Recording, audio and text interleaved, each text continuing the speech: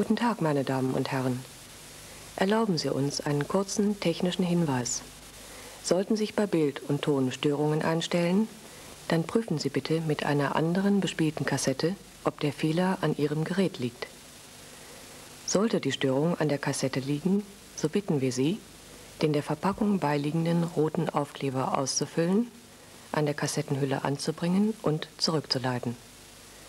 Diese Kassette darf Jugendlichen nicht zugänglich gemacht werden. Auf Wiedersehen bis zum nächsten Mal.